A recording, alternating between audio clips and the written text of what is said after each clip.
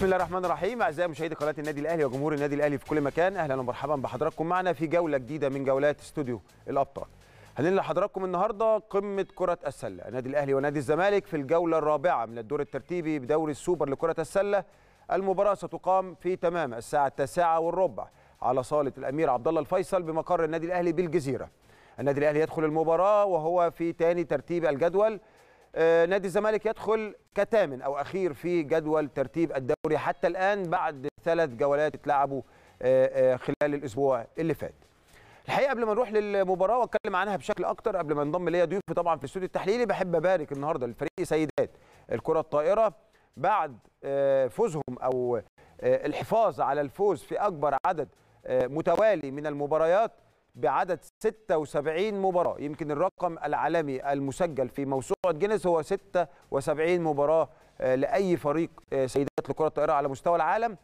الفريق النهارده حقق ال 76 يعني يمكن هناك في كلام على مباراة الكأس السنة اللي فاتت في دور الثمانيه الأهلي لعبها لا ما لعبهاش. الكلام ده كله ما يفرقش معانا. إحنا النهارده 76 مباراة بدون النظر إلى هذه المباراة. وبالطبع فريق السيدات بقيادة الكابتن حمدي الصافي ما بينظرش إلى عدد المباريات هو عايز يوصل ل 100 مباراة وأكثر كالرجال آه، وهو ده اللي إحنا منتظرينه. وإن شاء الله هنوصل بإذن الله آه، لهذا الرقم.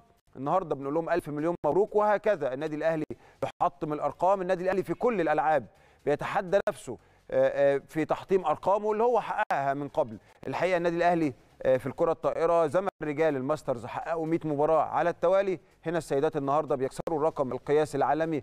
76 مباراة. المباراة القادمة تبقى 77 وإحنا باصين إن شاء الله إن إحنا نعدي ال 100 ونعدي أكتر من ذلك. وبيتهيألي ده هدف اللاعبات وكابتن حمدي الصافي. ألف مليون مبروك. وبالمناسبة في مجموعة من اللاعبات اللي بتلعب دلوقتي زي الكابتن مثلا نهله سامح كابتن الفريق قد تكون شاركت في ال 76 مباراة دول أو يمكن شاركت في أكتر بالطبع يعني. أنا بدي مثل آه، بكابتن الفريق ولكن أكيد في لاعبات كتير شاركوا في هذا الإنجاز. بالطبع الجهاز الفني اللي موجود شارك في هذا الإنجاز وبنوا على اللي قبليهم الحقيقة وبنوا على اللي قبليهم هو ده النادي الأهلي. ألف مليون مبروك. كان لازم نبتدي بهذا الخبر السعيد وهذا الرقم القياسي الجديد الذي يضاف إلى أرقام النادي الأهلي التي أجهدت كل من حول النادي الأهلي. خلينا نروح لمباراة النهارده. مباراة القمة في كرة السلة بتقام زي ما قلت لحضراتكم على صالة الأمير عبد الله الفيصل الساعة 9 وربع.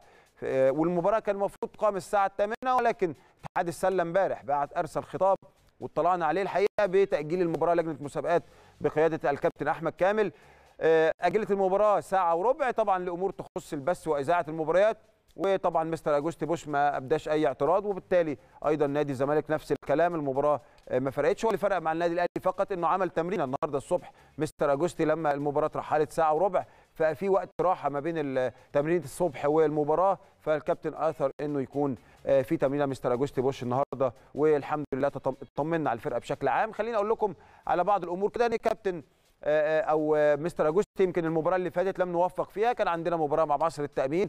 مصر التأمين فرقة ممتازة وهايلة وعاملة جيل كويس جدا والحقيقة نجحوا السنة دي إن هم آه، يفوزوا على نادي الزمالك في ثلاث مباريات آه، خلال هذا الموسم. اذا فريق كويس فريق تم بناؤه آه، آه، جيدا. فاذا آه، المباراة كانت صعبة اللي فاتت. في وقت إحنا كان عندنا غيابات وللأسف غياباتنا جاية في مركز إحنا already بنعاني من النقص في هذا المركز وهو مركز أربعة أو ال- ال power forward لأنه الحقيقة كان آه، عندنا تدعيمات حصلت خلال سنتين يمكن السنة الأولى أو السنة قبل الماضية. كنا دعمنا الفريق بأحمد حمدي السنة الماضية كنا دعمنا الفريق بمروان سرحان. للأسف الاثنين لعيبة بيغيبوا عن ال- ال- الفريق هذه الفترة. أحمد حمدي سافر الولايات المتحدة الأمريكية نتيجة ظروف أسرية آه، آه، تخص أسرته. فهو مش قادر يكون موجود مع الفريق. نفس الكلام بالنسبة لمروان سرحان. عنده إصابة أو كسر في الصباع ايده اليمين جبس ست أسابيع يمكن فات منهم أسبوع تقريبا فهو بيغيب لفترة طويلة عن الفريق. فاذا اضطر مستر أجوستي بوش إن هو يدفع بلاعبين صغار السن في هذا المركز زي عبد الله ناصر وإدى لعمرو الجندي وقت أطول في هذا المركز. طبعا بيحاول بناء على المعطيات اللي عنده اللعيبة اللي عنده إن هو يسد هذا العجز وهناقش الكلام ده طبعا مع ضيوفي وهنطلعكم عليه بكل آه، آه، يعني وضوح وبكل آه، صراحة. عندنا كمان آه، يعني بعض ال- ال- الإصابات الأخرى زي طبعا كان أبو النصر المباراة اللي فاتت ما لعبش. عندنا إيهاب أمين آه، يعني خلاص في فترة التأهيل من عمليته الزايدة. يعني عندنا إصابات فيه نجوم ومراكز كتيرة ولكن يمكن الإصابة الأكبر هي في مركز أربعة اللي إحنا بنعاني منه من الأصل ومن غياب آه، اللاعبين. الحاجة الثانية اللي عايز أقولها إن النهارده النادي الأهلي تاني قلتها في المقدمة آه، كان بعد حتى بعد الخسارة اللي فاتت هو في ثالث ترتيب آه، الدوري هو الدوري السوبر ثمان فرق نادي الزمالك بيجي في المركز الثامن النادي الأهلي لعب ثلاث مباريات الجولة الأولى والثانية والثالثة فاز في اثنين وهزم في مباراة نادي الزمالك هزم في الثلاث مباريات الثلاث جولات اللي فاتوا. عشان كده نادي الزمالك في آخر جدول دوري السوبر والنادي الأهلي في الدو في ال في ال المركز الثاني. طبعا حضراتكم عارفين مباراة الأهلي والزمالك بيبقى دايما ليها حسابات أخرى. يعني آه، بيبقى موضوع محتاج طبعا تركيز من اللاعبين محتاج طبعا أهمية. الوضع في نادي الزمالك أيضا ليس كما آه، يعني يرام. برضو عندهم إصابات عندهم بعض الأمور اللي إحنا مش هنتطرق فيها. طبعا إحنا بنتكلم عن فرقتنا ولكن إحنا طبعا بيبقى عينا على المنافس وعينا على آه، فرقتنا. آه، إن شاء الله تبقى مباراة كويسة. النهارده تلقى آه، يعني استحسان السادة المشاهدين وتبقى تليق بكرة السلة المصرية. الحقيقة الدوري منتظم والدوري ماشي بشكل جيد. نتمنى إن شاء الله الفترة القادمة إنه يبقى في أكثر انتظاما ويكون يعود على المنتخب اللي هو الهدف الأكبر لينا إن شاء الله إن إحنا نشوف في يوم من الأيام منتخبنا يرجع تاني للامجاد وإن شاء الله هيرجع لأمجاد. هنطلع لفاصل سريع أعزائي المشاهدين. هستقبل ضيوفي ضيوف في الاستوديو التحليلي الكابتن خالد مصطفى والكابتن إسلام علي والكابتن آه، سلعاوي. هنستقبلهم بعد آه، الفاصل عشان وكابتن كريم ضيف هنستقبلهم بعد الفاصل عشان نت- نتحاور ونتكلم في كل الأمور اللي تخص الفريق النهارده. استنونا ولكن بعد الفاصل.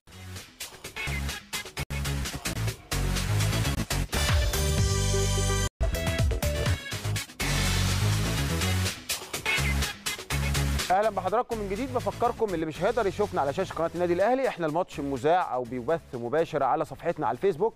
وعلى قناتنا على اليوتيوب channel تقدروا تتابعونا في أي مكان. الحقيقة لأن النهارده مباراة أكيد إن شاء الله هتكون مباراة جيدة ونتمنى الفوز للنادي الأهلي. في البداية برحب بضيوفي نورني في الاستوديو التحليلي يا كابتن محمد السلعاوي نجم من نجوم النادي الأهلي ومنتخب مصر السابق وأيضا عضو لجنة انتقاء المواهب الحالي في النادي الأهلي. أهلا بيك يا كابتن سلعاوي. أهلا بيك كابتن هيثم منورنا يا كابتن. الله يخليك. إن شاء الله تكون آه، فرصة طيبة وإن شاء الله نعمل مباراة كويسة ونكسب في الآخر. شاء الله. آه، بنرحب بكابتن إسلام علي نجم نجوم النادي الأهلي السابق ومنتخب مصر ومدير فني فريق الشباب السابق. أهلا بيك يا كابتن إسلام. أهلا بيك كابتن هيثم منورنا. حبيبي ربنا مدرب عام يخليك الفريق الأول كمان. آه ربنا يخليك. مدرب ده- عام أربع سنين. ده نورك وأنا مبسوط إن أنا في بيتي في قناة النادي الأهلي يعني. نور بشرف يا. كابتن ربنا يخليك.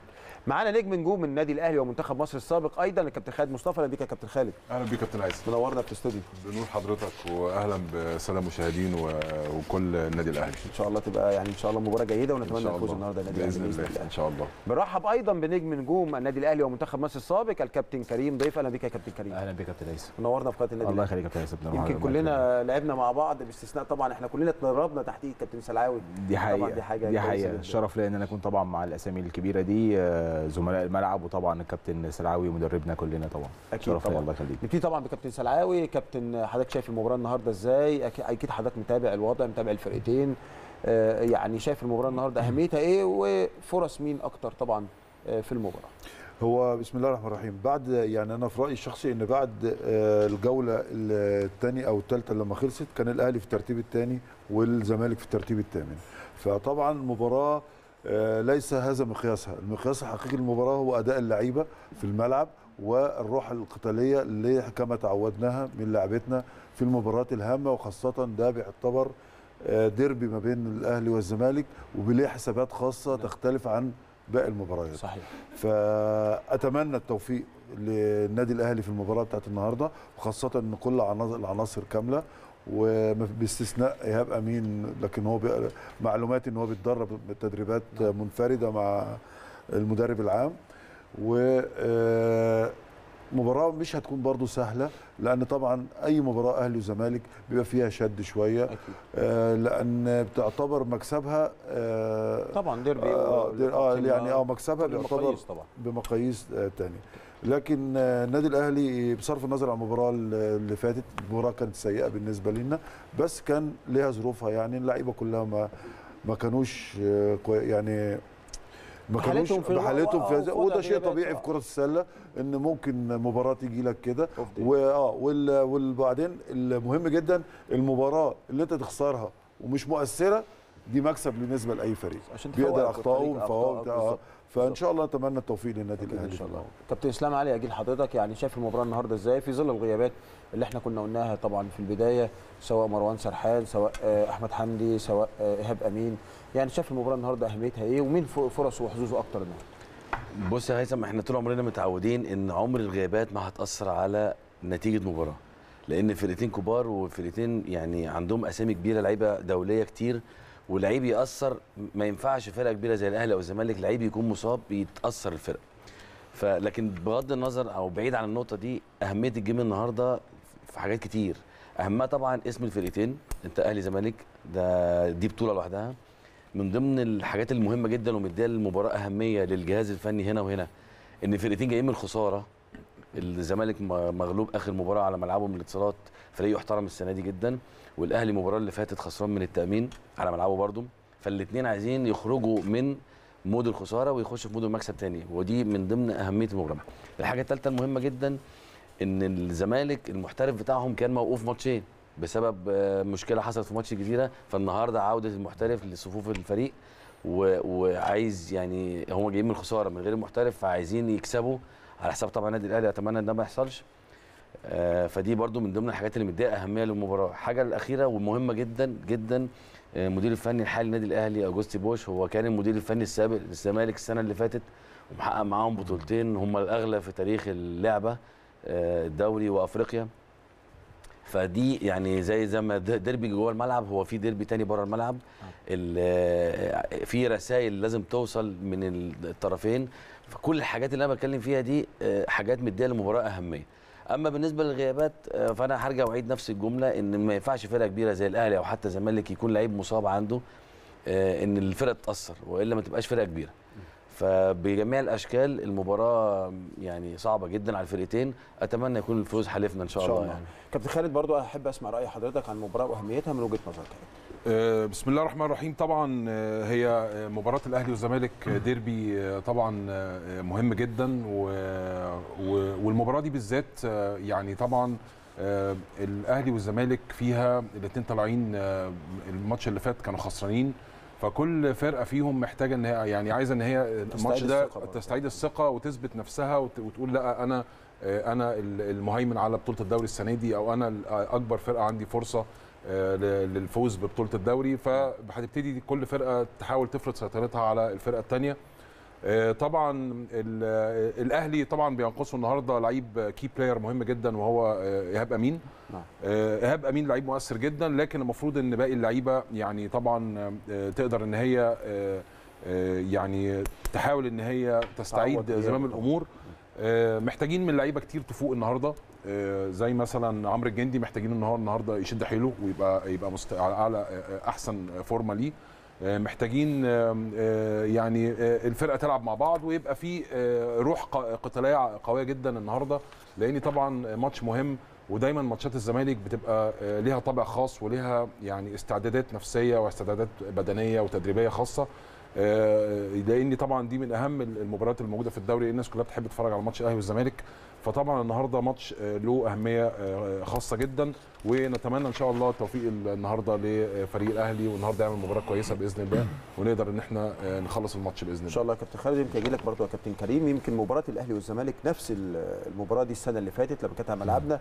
وكان معانا المحترف أليكس يانج كان موجود وخلصت تقريبا بعد إكسترا تايم 9 فوزنا على نادي الزمالك. بعد مباراة يمكن شهدت عدينا فيها ال 100 نقطة يمكن كان 105 107 105 أو 107 102 أنا مش فاكر بالظبط الرقم كان كام بس عدينا حاجز ال 100 فإذا المباريات بتبقى على ملعبنا آه، بيبقى فيها نوع من أنواع الحماس. شايف النهارده المباراة إزاي يا كابتن كريم؟ آه، طبعا يا كابتن هيثم تاكيدا لكلامك الماتش الأهلي والزمالك بغض النظر عن الترتيب اللعيبة تركيزها بيعلى آه، مستواها بيعلى في الماتش ده بغض النظر عن ترتيب الفرق هي فين في جدول الدوري. نعم. تمام؟ آه، الحاجة الثانية إن الماتش ده بيستقطب طبعا آه، قطاع كبير من الجمهور. حتى لو في ناس ممكن تكون في بعض المباريات مش متابعة مثلا الماتشات اللي ما بين مثلا الأهلي أو الزمالك مع الفرق الثانية لا ماتش الأهلي والزمالك اللعيبة عارفة إن الجمهور كله بيتابع الماتش ده وبيتابع نتائجه وبيتابع الأداء بتاعه وبيركز معاه جدا. فده ممكن يعمل آه، ضغط شوية على اللعيبة أو يخليهم يخلي تركيزهم يعلى. ال- النقطة الثانية إن هو دلوقتي الأهلي هيحتاج الماتش ده يجاوب على سؤال مهم جدا. هل أنا اللي حصل لي الماتش اللي فات ده كان كبوة ولا هل أنا عندي مشكلة؟ نعم. تمام فلازم النهارده نحاول نرد على السؤال ده إن إن شاء الله بالأداء. لا اللي بالظبط كده بالأداء وبالتركيز ده هيجي بالتركيز في التفاصيل وزي ما الكابتن خالد قال ال- ده هيجي لما اللعيبة اللي كانت مش مركزة الماتش اللي فات هنعتبر إن ده off day نعلي من تركيزنا النهارده عشان حتى الفرقة الكبيرة ما ينفعش اللعيب يعمل ماتش وحش في الماتش اللي بعديه في الماتش اللي بعديه لأ لازم ماتش واحد أعمل stop أفصل على الماتش اللي قبليه أنزل الماتش اللي بعديه مختلف تماما وخاصة إن ده ماتش قمة. خليني أقول لك برضه يا كابتن كريم إن إحنا آه قد نعاني من بعض الغيابات فعلا ولكن برضه نادي الزمالك بيعاني من الغيابات. عندهم أهم لعيب طبعا ومن أكتر لعيبة في مصر يعني مؤثرة تحت. الحلقة أنس أسامة غايب طبعا بإصابة ربنا يشفيه كان كتفه والحقيقة اتصاب مع منتخب مصر وهو بي- بيشرف يعني بيشرف بتمثيل منتخب مصر أصيب. فالنادي الزمالك already عنده إصابات وعنده إصابات في لعيبة ويمكن نادي الزمالك مختلف عن السنة اللي فاتت برضه مهاب ياسر سافر بره آه، راح أحد الجامعات الأمريكية فمش موجود. فإذا يعني برضه في غيابات في نادي الزمالك. فإذا ده تاكيدا اللي قاله كابتن إسلام إن هي مباراة قمة آه، الغيابات ممكن ما تأثرش. مظبوط يا كابتن هيثم ال- الفرق الكبيره المفروض ما تأثرش بالغيابات. المفروض يبقى عندها البنش اللي بره باللعيبة الناشئين اللي طالعة تساعد القوام الأساسي للفريق الدرجة الأولى تبقى الدنيا متوازنة. تمام؟ ما ينفعش نبقى فرقة كبيرة. ولما يحصل عندنا غياب مثلا واحد أو اثنين الفرقه ده هيختلف أو المستوى يتأثر. تمام؟ صحيح. فده يتطلب من الناس كلها تركيز مضاعف. نعم. تمام؟ بحيث إن هو طبعا الروح القتالية وإن إحنا نموت نفسنا في الملعب عشان حتى أي غيابات موجودة نقدر إن إحنا نعوضها. صحيح. طب أجي أجي لك كابتن سلعاوي تاني. يعني آه، مباراة النهارده آه، هتبقى مباراة بين مدربين اثنين آه. أكيد اتفرجوا على بعض وشافوا بعض. النادي الأهلي يمكن لعب تقريبا 26 مباراة لما يكون الذاكره 27 آه، 27 مباراة. خسرنا مباراتين فقط. آه الحمد لله خدنا ثلاث بطولات فإذا في حالة من الاستابيليتي وال- والثقة خسرنا مباراة واحدة آه لا مباراة الاتحاد ومباراة مصر التامين آه. مباراتين آه آه، خسرناهم فإذا رقم record كبير يعني محترم ما اتحققش يمكن من 2012 لما كنا بنلعب آه. أسلام آه وكان اتحقق في جيلنا يعني وكان معانا كابتن أشرف توفيق طبعا مدير فني آه، كان ساعتها في مجال كرة. السلة إنك توصل للرقم ده إنجاز كبير طبعا طبعاً. فأنا اللي قصدي أقول لحضرتك إنه إن المباراة زي ما هي بين اللعيبة أيضا بين الأجهزة الفنية في جهاز فني يوناني ماسك نادي ال- الزمالك. نادي الزمالك وهو ليه اسم كبير بالمناسبة في اليونان. آه. عندنا مستر أجوستي بوش عمل اسم كبير وهو جاي من أسبانيا كان اسم كبير. كان بيقود نادي الزمالك السنة اللي فاتت. يعني مباراة هتكون من طابع خاص ما بين الاثنين مدربين. طبعا طبعا. اللي عايزين نقوله إن آه، بالنسبة للمدرب النادي الأهلي مدربنا آه، الأسباني آه، جوست بوش كان آه، أعتقد آه، في جهاز برشلونة. برشلونة بالظبط. آه، كان آه، في ضمن الج- الجهاز يعني في برشلونة اشتغل مع منتخبات إسبانيا بقى وهو كان آه. يعني هو جاي من already جاي اسم آه كبير. واشتغل في نادي الزمالك أول لما جه وقدر يحقق بطولتين كانوا غايبين عن نادي الزمالك بقى لهم فترات كبيرة جدا بطولة الدوري العام وبطولة أفريقيا آه، المدرب الموجود حاليا مدرب يوناني آه، برضه مدرب مصنف ومدرب كويس سي في عالي جدا ولكن هي العملية إن هي هتبقى منافسة بين الاثنين مدربين خارج الحدود. ال- أعتقد مدربنا حافظ لعيبة الزمالك شخص شخص ولكن أعتقد اليوناني هيبقى جديد برضه على الدولة لأن هو لسه ما لسه ماسك من فترة قريبة. لكن آه، طبعا كنت عايز أرجع بس لنقطة بسيطة اللي هي الغيابات وكده. الأهلي بمن حضر يعني أي حد موجود إن شاء الله بيسد وما بنحسش إن في آه، فرق ما بين ال- نعم. والغياب لكن هي مباراة ذات طابع خاص بين الاثنين مدربين هتكون. صحيح. طب خلينا نروح مع حضراتكم. هنستعرض ترتيب دوري السوبر آه، آه، قبل انطلاق الجولة الرابعة النهارده. ها، يعني نستعرض الجدول مع حضراتكم عشان في بعض الأرقام اللي محتاجين آه، يعني نناقشها مع ضيوفنا آه، مع مع حضراتكم على الهوا دلوقتي. يمكن المركز الأول آه، الجزيرة لعب ثلاثة مباريات فاز في ثلاثة ليه 218 نقطة عليه 196 نقطة الفارق ما بين الاثنين طبعا يقول عليه 22 نقطة. الأهلي ثلاث مباريات فوزين هزيمة 229 نقطة 201 نقطة دخلوا فينا الفرق 28 نقطة. الاتحاد الاتصالات المركز الثالث وده طبعا حاجة تحترم جدا الاتصالات النهارده بتيجي في المركز الثالث. ثلاثة لعب اثنين فوز واحد خسارة. آه، 253 نقطة ليه 230 نقطة عليه فرق 23 نقطة مصر التأمين في المركز الرابع. آه، لعب ثلاث مباريات أيضا اثنين فوز واحد. وهزيمة واحدة. 242 نقطة ليه 232 نقطة آه، عليه. الفرق 10 نقاط. الاتحاد السكندري آه، آه، لعب مبار- مباراتين فوز واحد هزيمة 246 ليه 239 عليه سبعه آه، سبع نقاط فارق. نخش على سبورتنج في المركز السادس. آه، آه، فوز واحد وهزيمتين 202 نقطة ليه عليه 228 نقطة عليه مي ناقص minus. 26 آه، نقطة سموحة في السابع. ثلاث مباريات ثلاثة هزيمة ما فيش فوز 224 نقطة عليه 251 نقطة يعني واحد ناقص 27 نقطة عليه الزمالك في المركز الأخير الثامن. ثلاث مباريات خسارة ثلاثة فوز zero آه، له 191 عليه 228 minus 37 نقطة. يعني ضيوفي أنا أحب أرجع لكم يعني برضو أجي آه، لكابتن إسلام علي هنا بال بال بال بالمنظر كده أو بالرؤية. أقوى دفاع في الدوري هو نادي الجزيرة 196 نقطة. يليه أقوى دفاع في البطولة آه، النادي الأهلي. هدخل فيه 201 نقطة. رأيك إيه يا كابتن إسلام؟ وعايز أعرف برضو رأي ضيوفي كله على الملاحظة دي. بص هي الأرقام بتبين لنا حاجات كتير بس في نقطة مهمة جدا. إحنا لسه كل ده ثلاث ماتشات الثمان فرق الثمان فرق أقوى من بعض. الزمالك في المركز الثامن ده مش معناه إنه أقل فرقة ولا وغير كده إن النهارده في أربع ماتشات بيتلعبوا أقواهم فنيا بالورقة والقلم. ماتش أهلي زمالك أنت عندك ثلاث ماتشات تانيين الجزيرة آه أنا الجدول معايا أهو. مصر التأمين راح للجزيرة في الجزيرة. في ملعبه والاتصالات راح لسموحه اسكندرية وسبورتنج راح للاتحاد.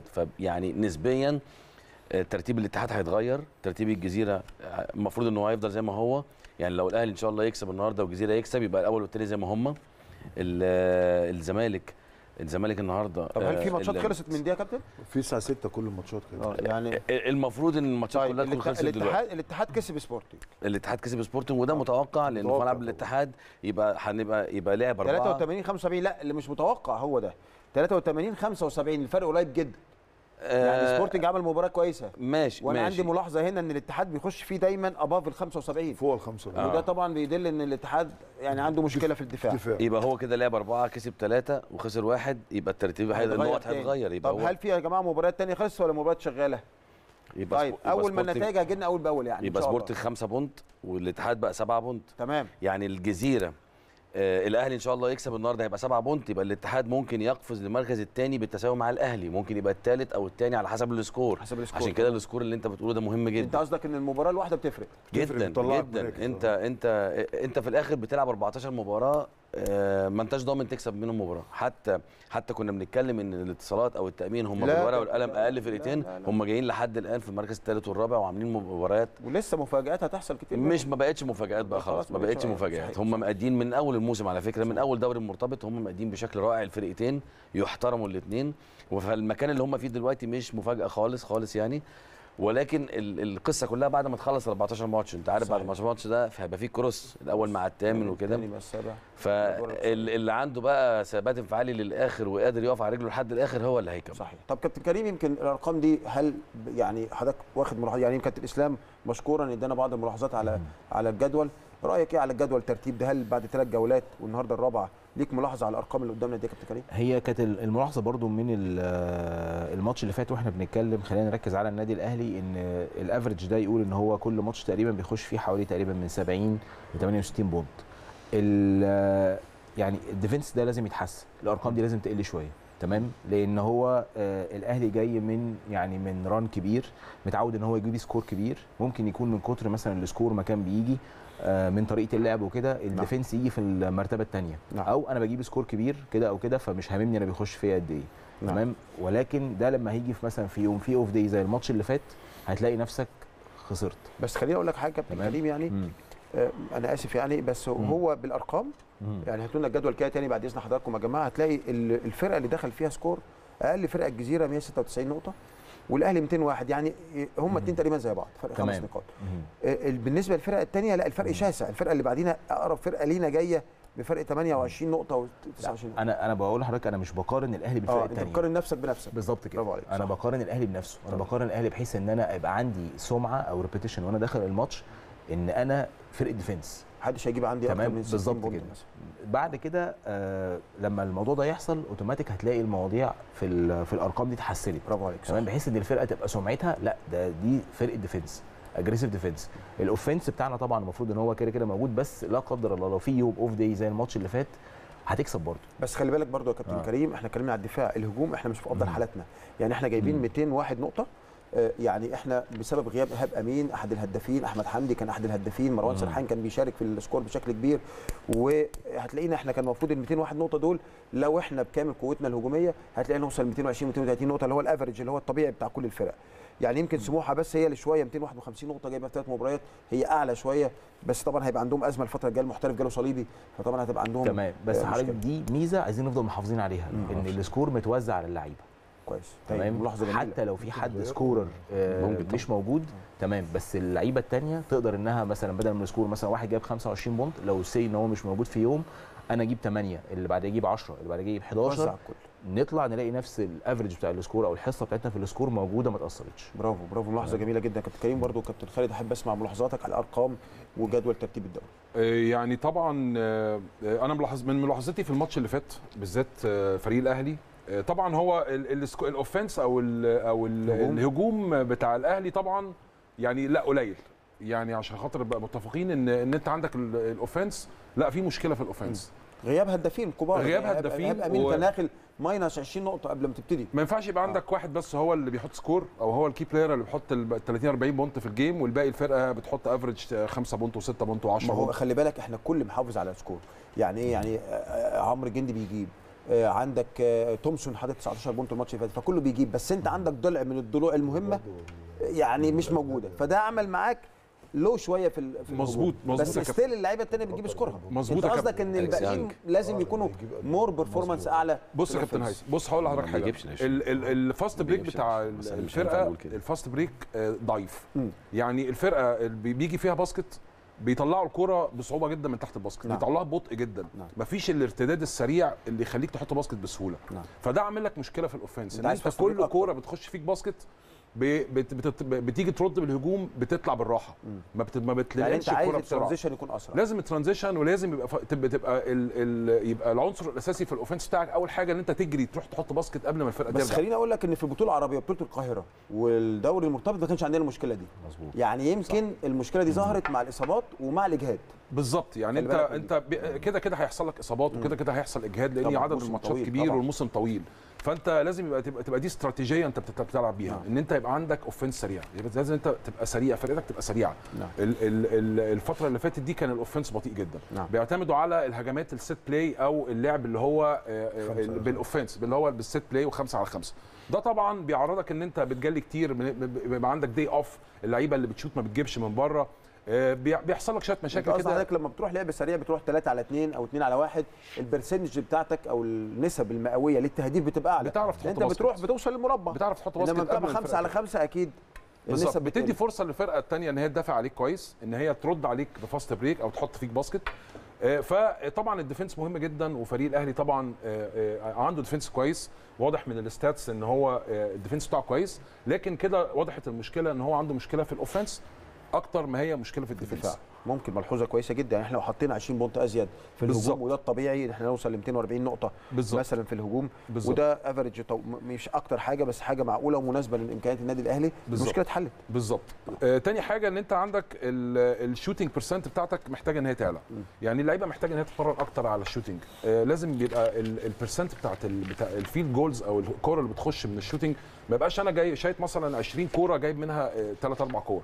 لا لازم النسبة بتاعت ال- ال- ال shooting تعلى لازم الناس تتمرن أكتر على ال shooting في في المواقف الصعبة تحت ضغط برضو، وتحت وحضرتك أستاذ برضه ال- ال field goal في 3 point أو ال percentage في 3 point لو حاجة و30% أو 38 39 دي حاجة كويسة طبعا حاجة كويسة جدا ال field goal بقى 2 po... 2 points لا الموضوع لازم تعدي ال 50 ولازم تعدي 60% عشان تبقى بالظبط ال foul shooting. ال foul shooting مثلا. ما ينفعش أنا أبقى آه، مغلوب مثلا وبحاول أعوض وأخش أجلي آه، كورتين ثلاثة foul shooting ورا. بعض يضيعوا لي المجهود بتاعي ويضيعوا لي التعب اللي أنا بتعبه ففي شوية. حاجات كده إحنا محتاجين نهتم بيها الفترة اللي جاية دي عشان خاطر يبقى حاجات الموضوع بسيطة جدا. حاجات سهلة جدا وحاجات ما فيهاش أي مشكلة نقدر إن إحنا آه، بالتركيز عليها نقدر إن إحنا نحسن منها ونقدر إن إحنا نتقدم كتير في الفترة اللي جاية إن شاء الله. إن شاء الله. طب كابتن سلعاوي يمكن ال- نقدر نستعرض يا جماعة يعني قوائم الفرق؟ الدنيا جاهزة؟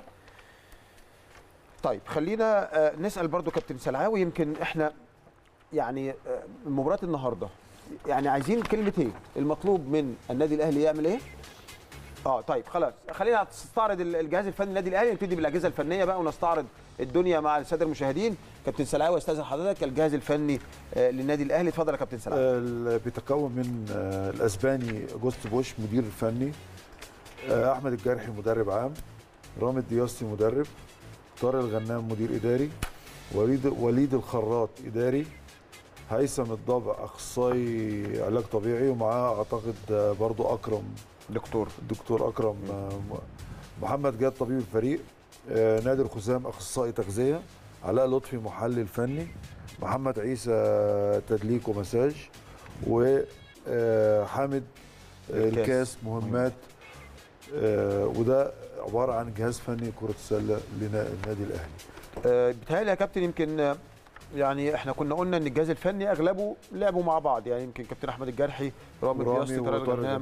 لعبوا مع بعض جيل يعني واحد آه يعني أو جيل جيل، في. حتى علاء لطفي آه. المحلل الفني كان بيلعب دايما آه. في نادي طلائع الجيش وكان دايما في السن ده يعني تقريبا كله بنتكلم في جيل واحد تقريبا آه تقريبا يعني كله في جيل واحد تقريباً. طيب خلينا نستعرض مع كابتن إسلام آه، آه، طبعا الجهاز الفني آه، لسلة نادي الزمالك اتفضل يا كابتن إسلام المدير الفني اليوناني انجلو مدرب المدير الفني ياسر ابو وهاب مدرب عام سمير جودة المدرب مصطفى محسن مدير إداري الدكتور إسلام جمعة طبيب الفريق ومحمد سعيد مخطط أحمال وعلى فكرة دكتور إسلام ده من أبناء النادي الأهلي آه. دكتور إسلام جمعة دكتور في النادي الأهلي طيب كان. دكتور في النادي آه الأهلي. كان دكتور في النادي الأهلي بس آه. يعني خلينا نقول حاجة آه، إنه الجهاز بتاع ال- النادي الزمالك هو نفس الجهاز بتاع السنة اللي فاتت ما عدا آه، المدرب ما عدا المدير المدير الفني الجديد اللي هو طبعا اليوناني. آه، فانجلس. نفس الجهاز ده. بالكامل كان مع اوجوستي بوش السنة آه. اللي فاتت طيب آه، يعني شايف يعني الجهاز الفني في النادي الأهلي في نادي الزمالك اللي إحنا استعرضناه هل آه، يمكن غاب عنهم يمكن طارق سعيد اللي كان معاهم السنة اللي فاتت آه، مدير- آه. رئيس جهاز آه. آه، يعني شايف ممكن إن الجهاز بقاله أكتر من سنة مع بعض ده ممكن يديهم حالة انسجام؟ يعني شايف ده إزاي أكيد؟ وبانت على فكرة من أول ما جم مع احترامنا الكامل للجهاز السابق قبليهم نفس المجموعة اللي كانت موجودة الجهاز ده جاي في نص موسم. نعم. غيروا شكل الفرقة تماما. آه كان معاهم محترف يعني سوبر سوبر السوبر يعني وكسبوا. بيه آه وكسبوا بيه الدوري أفريقيا. ولكن المحترف الحالي اللي موجود معاهم مميز جدا جدا بغض النظر عن النتائج اللي هم ماشيين بيها بقالهم كام ماتش إنما المحترف معاهم كويس جدا جدا جدا دلوقتي اللي معاهم اللي موجود حاليا ما يقلش كفاءة عن والتر هوج اللي حتى بعد التصرف اللي حصل في ماتش الجزيرة اللي- آه ده تصرف بيحصل طبيعي ما بين أي لعيبة في الملعب مفيش مشكلة رجع لهم أحمد عادل أحمد عادل عبد الفتاح ك... ك... لا ده هو في مجلس الاداره إحنا لا ما بنتكلم لا مسؤول عن ألعاب الصالات آه مسؤول بس آه، ده آه. مجلس إحنا بنتكلم على الجهاز الفني على أساس يعني. جيل آه، واحد على الجهاز برضه. الفني آه. ف... ف... فالجهاز الفني آه، يعني قريب جدا من اللعيبة وغير من أداء الفرقة وشكل اللعيبة بروح لأن ياسر عبد الوهاب وسمير جودة من أبناء الزمالك طبعا و بس سمير جودة لعب في النادي الأهلي. آه، موسمين. موسم- موسم. موسم موسم أنا شرفت إن أنا لعبت معاه طبعا. سمير جودة من أسامي اللي في مصر واحترف سنين بره مصر يعني. بالمناسبه برضو عايز أقول لك كابتن الفريق سيفات هيثم السحارتي لعب في النادي الأهلي. ومحمد أخوه لعب في النادي موسمين الأهلي موسمين آه آه لعب موسمين. يعني في ناس ما تعرفش المعلومات دي آه, آه. يعني في ناس ما تعرفش إن في آه، يعني كابتن فريق نادي الزمالك السنة اللي فاتت كان هيثم السحارتي كان لاعب في النادي الأهلي هو وأخوه محمد السحارتي موسمين مظبوط آه. مظبوط. فطبعا الجهاز الفني آه، على وعي وعلى خبرة ب... ب... بالفرقة من السنة اللي فاتت جايين من نص الموسم اللي فات وعملوا موسم رائع ومكملين السنة دي ممكن يكون في السنة دي ظروف أنا برضو يعني وأنت بتتكلم مع كريم ضيف على موضوع آه، ظروف آه، الإصابات والكلام ده آه، هرجع وأكد على نفس المعلومة إن عمر ما كانت الظروف بتغير شكل الفرقة المفروض في فرقة نعم. كبيرة ولو هنتكلم كده آه، نقول إن الماتش one side جه من الأهلي لأن الزمالك عنده ظروف سيئة جدا آه، في مستحقات لعيبة ما بتتاخدش بقالهم مدة و... والكلام على فكرة اللي أنا بقوله ده مش سر ده موجود على المواقع بس إحنا مش عايزين نتطرق ده يعني قصدي. أقول إيه آه، إن في ظروف في ظروف سيئة حاليا في نادي الزمالك فالمفروض بقى لو هنتكلم كده يبقى الماتش one side game عمره ما هيكون كده. عمره ما هيكون كده. بس إحنا إحنا دايما في استوديو التحليل بنركز على فرقتنا. أنت عارف طبعا كابتن إسلام مظبوط مظبوط. لكن عايز أقول يعني في القصة دي إن إحنا حتى النادي الأهلي في أوقات كتير كان بيبقى عندنا ظروف وغيابات ونقص كتير وبتاع. وبنكسب وبنقف على رجلنا يعني عمر الظروف الظروف اللي قبل المباراة ملهاش علاقة خالص. دخلت. الجيم والتيشيرت الأحمر والتيشيرت الأبيض الوضع بيبقى متغير تماما تماما تماما. وال...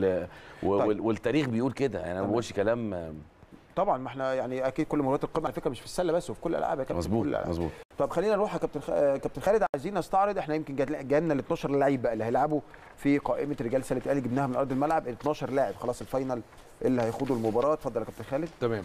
آه عندنا عمرو علاء زهران ابن الكابتن علاء زهران. آه عمر عزب آه عمرو الجندي آه سيف سمير إبراهيم الجمال آه مودي الجرحي محمود وليد احمد مهيب آه مايكل تومسون محمد ابو النصر وعبد الله ناصر وعمر طارق. بيتهيألي يا كابتن خالد ده نفس التشكيل بشكل كبير باستثناء بس. عبد آه، أبو النصر. أبو النصر هو موجود النهارده؟ أبو النصر النهارده موجود. أبو النصر موجود. آه. ده نفس التشكيله من المباراة اللي فاتت. بالظبط آه. يعني تقريبا آه. عمرو زهران تقريبا. وعمر عزب وعمرو الجندي وسيف سمير وإبراهيم الجمال مودي الجارح محمود ودي احمد مهم ماكن تومسون أبو النصر دخل مكان سيف صلاح. تمام. فاكر؟ فاكرين. آه. آه. يبقى كده أنا افتكرت. فهو كده برضو يعني هو برضو كابتن مستر أجوستي ما زال عند سياسته. آه، دفع بال بال بال بالناشئين. ودي طبعا. في لقطات حية بن بن يعني بنزعها من أرض الملعب أهي خلاص تسخين الفريقين يمكن هم النادي الأهلي؟ اللي في الملعب مم. يعني بص يا كابتن خالد برضو النادي الأهلي في الملعب نادي الزمالك لسه ما نزلش آه. أرض الملعب مش شايفينه في أرض الملعب نادي الزمالك ولكن النادي الأهلي هو آه، بتاع في بعض ال ال ال مش الإصلاحات التظبيطات أو ال maintenance بي بيعملوا حاجة في ظهر ال board يعني بيتهيألي خلاص إحنا بنتكلم إن شاء الله في في نص ساعة أو أقل يمكن أو أكثر بدقيقة وأعتقد. إن كمان النادي الأهلي ملتزم بال- بالعدد الرسمي. مفيش حد في الملعب. آه لا في عدد رسمي ملتزم بيه النادي الأهلي اللي راحوا اللي. راحوا بس أعتقد 25 واحد هم اللي المفروض يكونوا موجودين. وزي ما إحنا شايفين يا جماعة دي لقطات حية. النادي الأهلي بيلتزم أكبر نادي في مصر طبعا بيلتزم, بيلتزم باللوائح. بالقوانين وبيطبقها على نفسه اولا. وطبعا التزم بتعليمات اتحاد السلة. برئاسة الدكتور مجدي أبو فريخة بحضور عدد معين آه، آه، من الجماهير بتبقى مذكورة بس أنا غير راضي عن. اللي أنا شايفه ده آه، أنت عايز جمهور بس آه، معلش يا كابتن بعد اللي حصل معلش معلش يا. كابتن إسلام ده كان لازم ولازم يحصل لأنه أنت عارف الأحداث اللي حصلت السنة اللي فاتت واللي قال لك لا ده إحنا كذا وكذا مش عايزين ناخد فيها كتير ولكن اللي حصل السنة اللي فاتت آه، يخلي المباراة ليها طابع معين اللي لازم النادي الأهلي يدي مثل واضح إن أنا بطبق اللوائح مش آه. طب أنا أنا برضو أنا أنا معاك إن الأهلي بيطبق اللوائح. أنا مش راضي عن ال... لا، أنا مش راضي على إن منظر الملعب باسكت يعني لعيبة بدون جمهور، يعني ده اللي هو أقصده. يقصد يقول لك. إن متعة من متع إن مع- يكون في معلش يا كابتن ما إحنا برضو يعني يعني ف- إحنا إحنا برضو إحنا أعتقد الأهلي التزم إحنا نتمنى يبقى في جمهور 25 نفر. ولكن إحنا ملتزمين باللي بيقوله الاتحاد. اللي هو بكشف معتمد آه. من اتحاد كره السله ده أكبر ماتش جماهيري. آه. آه، وعايز أقول لك على حاجة برضه طب ماتش الاتحاد وسبورتنج اللي كان بيتلعب دلوقتي الم- الصالة مليانة. يعني قصدي أقول لك هي الفكرة مش ما هو إحنا أكيد الجماهير بت- بتدي واتحاد وسموحه أنا آسف. وهتلاقي أنت بتلاقي الجمهور موجود دي حاجة طبيعية إنما إنما ال- الماتش اللي فات اتحاد وسموحه في اسكندرية السنة اللي فاتت الاتحاد. السنة اللي فاتت لما كان المباراة لما كانت المباراة هناك اللي حصل فيها مشكلة وحصل فيها مشكلة آه. وقال لك مم. أصل النادي الأهلي ولاعيب كورة بنقول له اخرج والكلام ده كله وهي ملهاش أي علاقة بأسامي هي ليها تع- ليها دعوة بتطبيق لائحه. ما كانش ليها أي دعوة بأي اسم فاحنا كده اسلم وافضل يا كابتن اسلام. طبعا أنا فاهم قصدك وكل حاجة بس أروح لكابتن آه، كريم. يعني برضو آه، ليك أي تعليق على التشكيل الأهلي يا كابتن كريم؟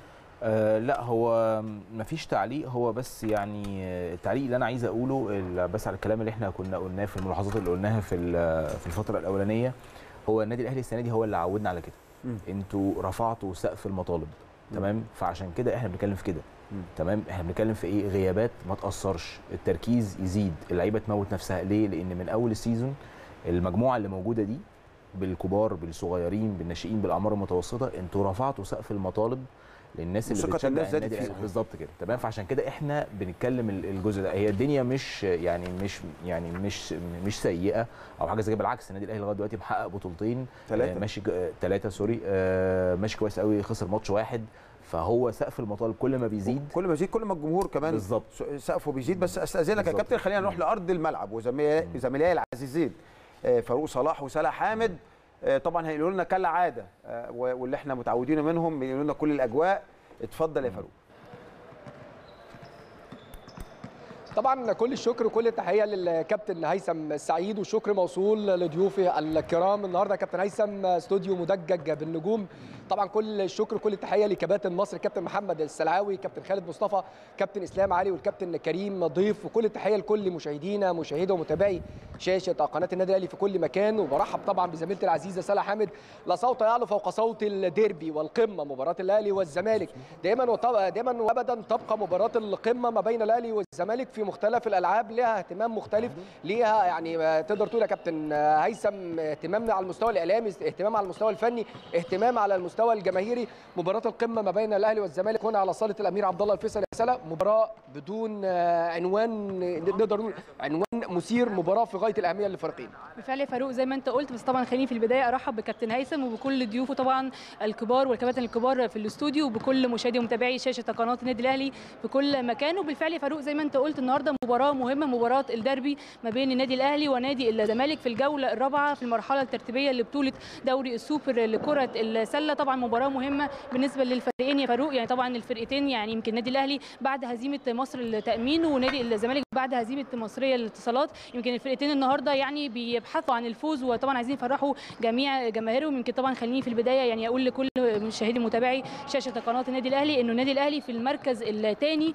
في ترتيب المرحلة الأولى. لبطوله دوري السوبر برصيد خمس نقاط ونادي الزمالك في المركز الثامن والأخير برصيد ثلاث نقاط. يمكن طبعا خليني في البداية كمان يا كابتن هيثم أقول لحضرتك ويعني أنقل لكم يعني آخر استعدادات النادي الأهلي والكواليس قبل بداية وانطلاق مباراة اليوم. يمكن مستر أجاستي إبوش بعد مباراة يعني يا فاروق مصر للتأمين قرر يعني إنه لاعبي النادي الأهلي يواصلوا التدريبات بدون راحة. تاني يوم بعد مباراة مصر للتأمين يمكن كانت يعني التدريبات في تمام الساعة الخامسة مساء. ويمكن التدريبات كمان يعني فضلت متواصلة لحد النهارده. كمان امبارح كان في تدريب على نفس الصالة صالة أمير عبد الله الفيصل. وكان قبليها زي في في فيديو ميتنج أو محاضرة فيديو مع لاعبي النادي الأهلي والجهاز الفني. طبعا بيتكلم فيها على نقاط الضعف والقوة اللي موجودة عند نادي الزمالك وبعض الفيديوهات يعني لمباريات فريق نادي الزمالك. كمان النهارده يا فاروق قبل يعني أو بعد ما عرف مستر اجاستي إنه تم تأجيل موعد المباراة من الساعة 8 للساعة 9 وربع قرر إنه جميع لاعبي النادي الأهلي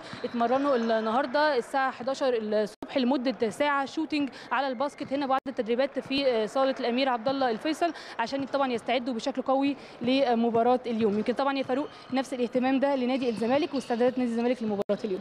بالفعل يا زميلتي العزيزة سلا بالفعل يا كابتن هيثم على الجانب الآخر نادي الزمالك والمدير الفني اليوناني فانجلاس أنجل بيولي اهتمام كبير جدا لمباراة الأهلي خاصة بعد التعثر في أول ثلاث مواجهات أمام فريق الجزيرة. كان نادي الزمالك تلقى الهزيمه أمام الجزيرة بنتيجة 70 56 ثم الهزيمه الثانية كانت أمام فريق الاتحاد بنتيجة 8 80 65 وآخر هزيمه كانت أمام فريق الاتصالات بنتيجة 78 70 طبعا النهارده بيعود المحترف إدجار سوزا بعد انتهاء الإيقاف ودفع الغرامة اللي كانت مقررة بعد إيقافه في مباراة الجزيرة لمدة مباراتين وغرامة 30 ألف جنيه.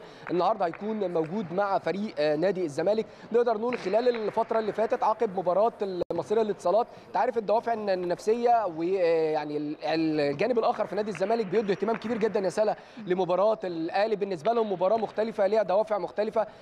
حاول يشتغل المدير الفني اليوناني مع اللاعبين على استغلال بداية هذه اللقاء واعتبار إن البدايه إن هذه المباراة تكون بداية للمباريات القادمة لنادي الزمالك ويخلق دوافع نفسية. عنده مجموعة من الغيابات النهارده أبرزها طبعا اللاعب أنس أسامة اللي موجود حاليا في أحد المراكز الطبية بالدوحة بيجري عمليات التأهيل الأخيرة وهيعود يوم السبت القادم بمشيئة الله. طبعا بنتمنى له سلامة وكل السلامة يعني كل اللاعبين. أيضا غياب أحمد عاصم وياسين ياسر وعلي حجازي يعني بعد إصابتهم بالتواء في الكاحل. غيابات في نادي الزمالك. أيضا يا ساله غيابات مؤثرة في النادي الأهلي. النادي الأهلي بيفتقد لعناصر مهمه في هذا اللقاء النهارده. بالفعل يا فاروق زي ما أنت قلت يمكن طبعا من العناصر المهمة اللي هتغيب النهارده عن مباراة اليوم مباراة الأهلي والزمالك. هو إيهاب أمين اللي هيغيب عن مباراة اليوم. طبعا بعد ما كنا زي ما إحنا عارفين إن هو أجرى عملية جراحية عملية الزايدة ويمكن الجهاز الفني والجهاز الطبي يعني الفترة الماضية كانوا مش عايزين إن هو ينزل يعني المباريات أو التدريبات الجماعية مع اللاعبين عشان خوفا من أي مضاعفات تحصل طبعا لإيهاب أمين وتزيد فترة غيابه عن المباريات. يمكن خليني أقول لكم كمان إنه إيهاب أمين حاليا في فترة التأهيل. فترة التأهيل عبارة عن يا فاروق بعض التدريبات في صالة الجيم وفي حمام السباحة. وكمان هنا يعني shooting على ال basket في الصالة. ولكن لوحده يعني بدون احتكاك مع أي لاعب. ولكن إن شاء الله يعني بعد أسبوعين ايهاب امين هيعود مرة أخرى للتدريبات الجماعيه ويبتدي يحتك بشكل طبيعي مع جميع اللاعبين. كمان مروان سرحان يا فاروق عنده إصابة في مشطي يعني الثالث والرابع يمكن الإصابة دي تعرض لها أثناء التمرين وهيغيب يعني مده غيابه عن الملاعب. هتتراوح ما بين 6 ل 8 أسابيع. هيغيب. ولكن إن شاء الله يعني بعد بكرة هيكون في أشعة على إيديه عشان كمان يعني الجهاز الطبي يطمن على الإصابة ولكن إن شاء الله يعني بعد شهر تقريبا نقول إن هو هيرجع تاني للتدريبات الجماعيه بالفعل يا سالة عايز أقول لك برضه يا كابتن هيثم عايز أشيد بالدور اللي بيقوم بيه الإدارة التنفيذية في النادي الأهلي. هنا في صالة الأمير عبد الله الفيصل دور كبير جدا للإدارة التنفيذية ممثل في الدكتور سعد شلبي وأيضا العميد علاء صلاح مدير الأمن في النادي الأهلي بالجزيرة. طبعا تشديد تام على الحضور وهو 25 فرد يتضمن أعضاء مجلس الإدارة 25 فرد من النادي الأهلي 25 فرد من نادي الزمالك. أقدر أقول لك طبقا للظروف أو الأمور أو التنظيم اللي بالنادي الأهلي استحالة تلاقيها 25 وربع خالص يا كابتن هيثم. دور كبير جدا للاداره التنفيذيه في النادي الأهلي وأيضا دور الأمن للعميد علاء صلاح مدير أمن النادي الأهلي بالجزيرة. النهارده أيضا يا كابتن هيثم عايز أقول لك طاقم تحكيم هذا اللقاء الكابتن محمود إبراهيم والكابتن محمود جمال والكابتن آية خالد ويراقب اللقاء الكابتن محمد جلال. من الأمور المهمه برضو اللي أنا عايز برضو من خلالك ونستغل تواجدنا من خلال شاشة قناة النادي الأهلي. دور ويوم مهم جدا يعني بيعيشه جمهور النادي الأهلي على شاشة قناة النادي الأهلي بدءا من مباراة الأهلي وسبورتنج في الكرة كرة الطائرة ثم مباراة الأهلي وهليوبلس للسيدات والفريق المميز جدا الفريق السيدات في النادي الأهلي. اللي النهارده فاز على فريق هليوبلس في الجولة الخامسة بنتيجة نتيجة ثلاثة أشواط نظيفة بعد الفوز ب 25 15 و25 10 و25 8 ويعادل رقم الفريق التركي هالك بانك ب 76 انتصار. طبعا كان في نقطة مهمة جدا يا كابتن هيثم. كان في مباراة ما بين أصحاب الجياد وأكتوبر في كأس مصر الموسم الماضي. كانت في دور الثمانية مع انسحاب الفريقين تأهل النادي الأهلي. النادي الأهلي كان حاسب هذه المباراة ضمن المباريات علشان النهارده يكون الرقم 77 ولكن الاتحاد لم يحتسب هذه اللقاء. إن شاء الله المباراة القادمة للفريق النادي الأهلي هتكون أمام فريق أصحاب الجياد بأكتوبر بالاسكندريه معذرة. إن شاء الله كل التوفيق لفريق النادي الأهلي. ومديره الفني الكابتن حمدي الصافي علشان يحقق رقم قياسي إن شاء الله يحسب لفريق النادي الأهلي. إحنا موجودين معاك يا كابتن هيثم. لو في أي استفسار أو أي تساؤل الأجواء الأمور هنا في صالة أمير عبد الله الفيصل إن شاء الله تبشر بمباراة رائعة تكون ما بين الأهلي والزمالك. طبعا كل التوفيق لفريقنا فريق النادي الأهلي بإذن الله. فاروق أنا عايز أسألك سؤال. يعني إحنا يمكن الكاميرا جايبة الخلفية بتاعتكم المدرجات اللي أمام المقصورة. فطبعا أنا واضح إن هي خالية تماما والالتزام بتعليمات اتحاد السلة ولجنة المسابقات بالقيادة الكابتن أحمد كامل التزام كامل. طب ال ال الرؤية أو ال أو ال أو الشاشة مش جايبة المقصورة وما حواليها. هل في حضور جماهيري؟ هل في ناس موجودة ولا اللي موجودين بس اللي مذكورين في الليستة أو في القائمة التي تم إرسالها لاتحاد السلة؟ يقدر أقول لك يا كابتن هيثم إن كل فريق قدم قائمة للاتحاد كره السلة بتتضمن 25 فرد من ضمنهم أعضاء مجلس الإدارة. يعني إن شاء الله زمايلنا يعني إن شاء الله يجيبوا لحضرتك الصورة كاملة من داخل المقصورة الرئاسيه لا تواجد تماما. عايز أقول لك إن النادي الأهلي والإدارة في النادي الأهلي سواء الإدارة التنفيذية أو يعني إدارة الأمن العميد علاء صلاح فارضين يعني كرتون أو تقدر تقول نظام أمني تام على صالة الأمير عبد الله الفيصل. الاعداد لن تتجاوز ابدا يا كابتن هيثم ال 25 التزام من النادي الأهلي التزام من نادي الزمالك. ودي صورة مهمة جدا وده أمر مهم جدا. وأنت عارف دايما يا كابتن هيثم كواحد من يعني افراد المنظومة داخل النادي الأهلي عارف إن الأمر لما بيتعلق بتنظيم النادي الأهلي بيبقى فيه يعني دقة مطلوبة جدا بتبقى موجودة. يعني كل الأمور بتطبق على أعلى مستوى من خلال إدارة النادي الأهلي. من النقاط المهمة برضو يا كابتن هيثم اللي عايز استغل برضو يعني وجود حضرتك إن الكابتن محمود الخطيب رئيس مجلس إدارة النادي الأهلي على الرغم من تواجده مع فريق النادي الأهلي في قطر بالدوحة وبيترأس بعثة النادي الأهلي اللي بيستعد لمواجهة فريق الرجاء إن شاء الله في كأس السوبر الإفريقي اللي نتمنى التوفيق لفريق النادي الأهلي. أجرى أكثر من اتصال مع الكابتن رؤوف عبد القادر طبعا لمتابعة والاطمئنان على حالة الفريق ويوصل أكثر من رسالة دعم للفريق إن شاء الله. عارف الكابتن محمود الخطيب في أي مكان موجود بيتابع بيآزر ويساند اللاعبين ويتمنى التوفيق بإذن الله لكل لاعبي وكل فرق النادي الأهلي. فاروق صلاح وسلا حامد من أرض الملعب. الحقيقة بشكركم شكرا جزيلا. أنتوا غطيتوا لنا كل حاجة كل الأجواء كل الكواليس بجد. يعني بشكركم على هذا المجهود الجميل وأتمنى ليكم كل التوفيق. وأكيد هنرجع لكم إن شاء الله بعد المباراة عشان نعرف منكم أمور كتيرة. وكالعادة كما عودتونا هيبقى في لقاءات مميزة إن شاء الله بعد المباراة. بشكركم شكرا جزيلا. يمكن أرجع لضيوفي في الاستوديو. كريم كنا بنتكلم على مباراة الأهلي والزمالك وتشكيل قايمة. الزمالك ويمكن قايمة. قائمه الزمالك آه، آه، بلغونا أو طبعا سلا وفاروق آه، بلغونا من أرض الملعب إن في تم استبعاد بعض اللاعبين فكده خلاص. إحنا عرفنا ال 12 لاعب اللي هيخوضوا المباراة من نادي الزمالك. اتفضل يا كابتن كريم. طيب آه، سريعا بس يا كابتن هيثم قبل ما أستعرض القائمه إحنا يحسب للنادي الأهلي الالتزام بالقانون بغض النظر عن اللي هيطبقه إذا كان ملتزم بيه ولا لأ. نعم. لأن هو ده اللي عمل المشكلة السنة اللي فاتت. إحنا في قانون بس ممكن تروح مثلا ماتش تلاقي مثلا مسؤول عن سواء مراقب مباراة أو. أو أي مثلا حد غيره مسؤول يسمح بدخول جماهير فيعمل مشكلة فالمرة دي النادي الأهلي بيلتزم بقانون سواء المسؤول عن القانون هيطبقه أو مش هيطبقه فدي حاجة تحترم إن النادي الأهلي مش سايب مساحة إن حتى ممكن مشكلة تحصل طب هل بقى يعني سؤالي. هنا لضيوفنا يعني هل آه. حصل زي ما حصل يعني مش عايز أقول بقى تفاصيل هل تم السماح للعيب كورة إنه يخش هل تم السماح اللي موجود اسمه 25 واحد فرد في القايمة بصرف النظر يعني لو جه دلوقتي كابتن الفريق ومش موجود كابتن الفريق مثلا أي لعبة ومش كرة القدم أو غيره ومش موجود في ال 25 اسم مش هيخش. يعني الموضوع ليس له علاقة باسمه أو آخر أو بتاع والأزمة اللي حصلت السنة اللي فاتت دي كانت نتيجة عدم التزام آه، باللوائح والقوانين ولكن إحنا هو ده النادي الأهلي وهو ده. قدر كابتن كريم. أشكرك. على الملاحظة دي. بس خلينا نرجع بقى طبعا للقائمه نقولها عشان برضو نعرف السادة المشاهدين آه، مين قائمه نادي الزمالك النهارده. تمام. آه بيمثل نادي الزمالك أحمد ياسر عمر هشام أحمد حاتم أدهم عصام المحترف إدجار سوسة إسلام سالم أحمد أسامة آه مصطفى مكاوي رامي حجازي معاذ أيمن سليم العيسوي حازم المشد. تقريبا يعني تشكيل برضو يعني قوي وتشكيل يقدر يعني يعمل مباراة جيدة. بس خلينا نطلع لفاصل أعزائي المشاهدين عشان نرجع بعدين. نكمل تغطياتنا المستمرة. مباراة القمة الأهلي والزمالك في كرة السلة في الجولة الرابعة ولكن بعد الفاصل.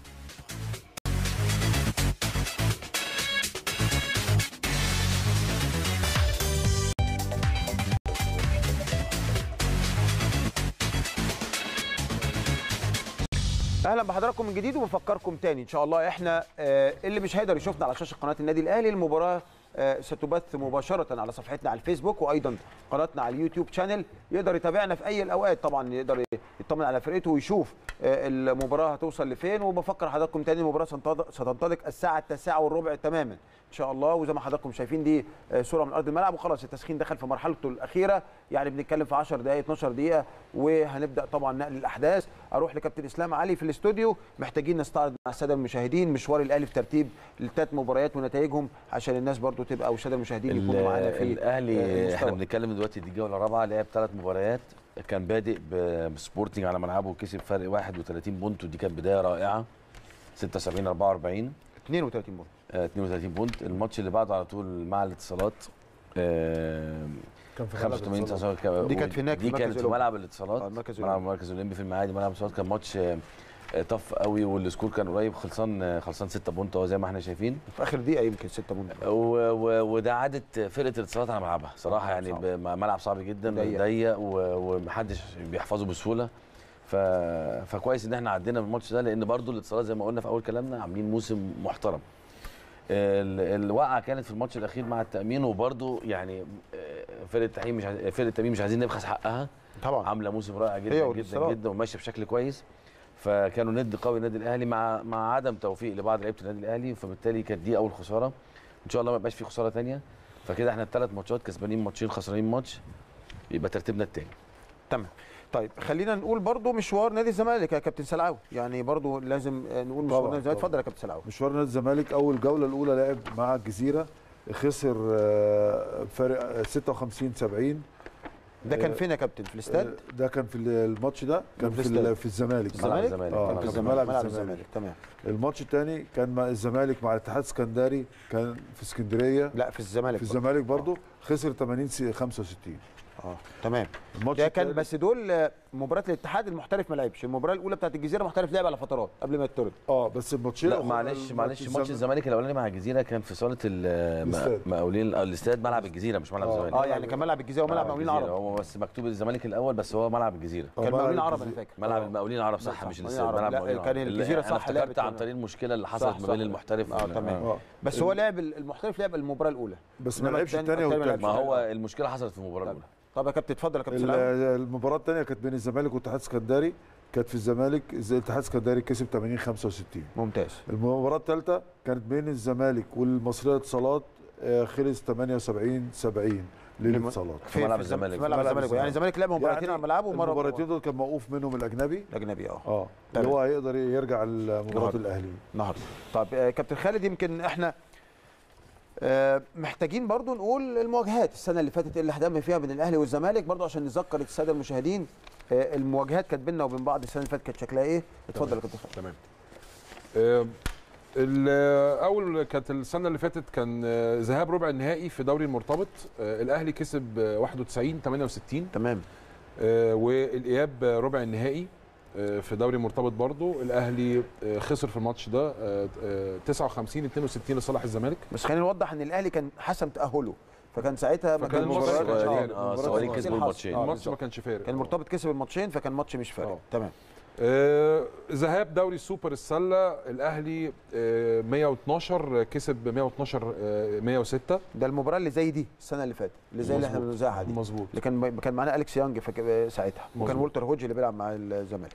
تمام. 112 106 ووالتر هودج بعد كان فارق. معاهم جامد آه، طبعا 112 106 تمام. آه، إياب دوري السوبر السلة اللي هو بقى المباراة مباراه اللي على الاياب اللي هي على ملعب الزمالك. على ملعب الزمالك. دي آه، كانت انسحاب. آه، والأهلي كسب اتحسب له مراقب- المباراة ساعتها. كابتن آه. يحيى زكريا كان الغى لغى المباراة دي اللي حصل فيها المشكلة. بتاعت الجمهور وساعتها كان. تمسك فريق نادي الزمالك بحضور الجماهير في الوقت ده اللي كان بيخالف آه. ال- ال- اللائحة أو ال- أو. تعليمات اتحاد السلة فاضطر مراقب المباراة مظبوط إنه يلغي ال- المباراة واتحسب انسحاب للنادي الأهلي اتفضل يا كابتن وبعدين آه، لعبنا نصف النهائي في كأس مصر آه، والأهلي كسب آه، 85 آه، 80 مم. آه، في نصف نهائي كاس مصر. يعني النتيجه السنة اللي فاتت خمس مباريات 4-1 للنادي الأهلي. آه، دي المباراة النهارده هي المباراة آه، رقم واحد في هذا الموسم. إن شاء الله نتمنى طبعا الفوز للنادي الأهلي. بس خليني برضو أقول لحضراتكم إنه تاني بسرعة إن المباراة دي في الجولة الرابعة. آه، آه، يمكن كل فريق لعب ثلاث مباريات نادي الزمالك خسر الثلاث مباريات. النادي الأهلي لعب ثلاث مباريات فاز باثنين وخسر مباراة. ولكن طبعا أنتوا عارفين حضراتكم مباراة القمة آه، بيبقى ليها حسابات أخرى وبيبقى ليها دوافع آه، أخرى. طب يعني كابتن سلعاوي أجل حضرتك يمكن النهارده كل- الدفاع هو كلمة السر لفوز النادي الأهلي. يمكن الحمد لله إحنا دفاعيا السنة دي أفضل بكثير وأحسن بكثير ومتماسكين. يمكن عودة أبو النصر النهارده هتدينا دفعة في قوية. الدفاع قوية. شايف النهارده الدفاع أهميته إيه في في في المباراة النهارده يا كابتن؟ آه، أنا شايف إن الدفاع ده هو المكسب الرئيسي لأي فرقة. فرقة أي فرقة بدون دفاع عمليه المكسب بتكون شيء صعب جدا جدا. الدفاع الجيد بيديك fast break كويس بيديك سرعة بيديك إن أنت بتسيطر اللي بيسيطر على الحلقتين في في الهجوم. وفي الدفاع بيبقى له زمام المباراة. فالدفاع أساسي. وخاصة إن النادي الأهلي آه، حتة الدفاع دي متمرسة عنده من زمان. يعني آه، كابتن أشرف صحيح. آه، كان في الحتة دي متميز جدا. متميز جدا. آه، آه، برضو المدرب الحالي وسط برضو في الحتة دي متميز. آه، آه، لأن الدفاع هو أساس اللعب. نعم. الدفاع القوي هو واحد على واحد. مين اللي مين الأحسن؟ الأحسن هو اللي بيقدر يكسب. لو انت لو أنا أحسن منك في الدفاع أنا اللي هكسب.